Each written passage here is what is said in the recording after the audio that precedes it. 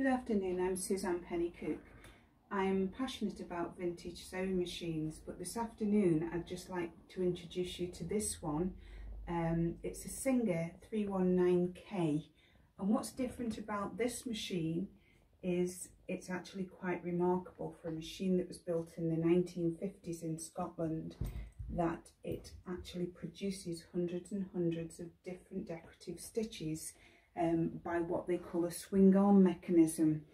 I was actually doing a demonstration or a sample piece just to show all the stitches that it can produce. There are literally hundreds of them that you get by combining um, different cam discs and also what they call the piano keys, which you can see they're situated on the top of the machine. Just quickly like to show you how you actually produce these stitches.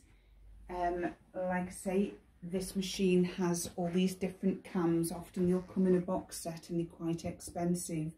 Um, you'll currently pay about £70 for a set of these. I'll just like to show you how you attach them and how they work.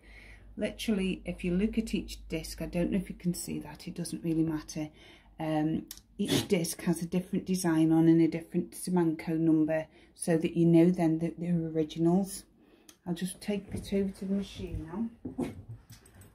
On the exterior of the machine, you'll see this disc and literally there is a little um, dimple on the disc.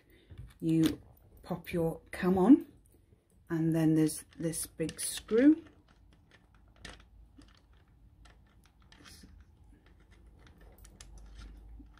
which literally fixes it on. Now to engage the disc you left the first of the piano keys and that actually locks on there so that it can feel its way around the disc. You can actually vary the stitch as well. Um, you can actually vary the stitch length and you can vary the stitch width so you can have a variety. For today's purpose I am just doing everything on a very very small stitch with a wide width so that I get the maximum effect. So just bear with me. Quite a noisy machine, but as you can see it's a zigzag stitch.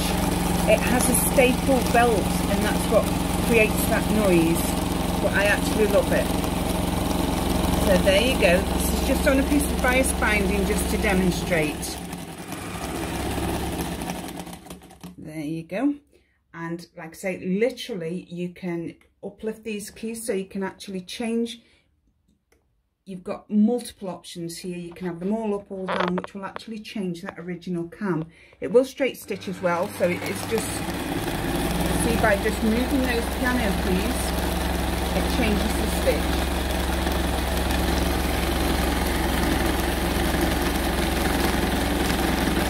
There's another version of this machine called the 306K, which is basically the identical machine again, that's changed it quite differently now. That's put it onto straight stitch because it just engaged that main cam there. But by just lifting it up, it brings it all back in. The 306 is basically the same machine, but it doesn't have the piano keys, so you can only get the um, external effects. And there's also a, th a free arm version of this, which is called the 320K absolutely my passion machine. It's my favourite machine. I took him off a salvage yard and restored him. You can still get all of the parts and you'd be looking at paying around about £180 for a good condition one of these machines. Thank you for watching.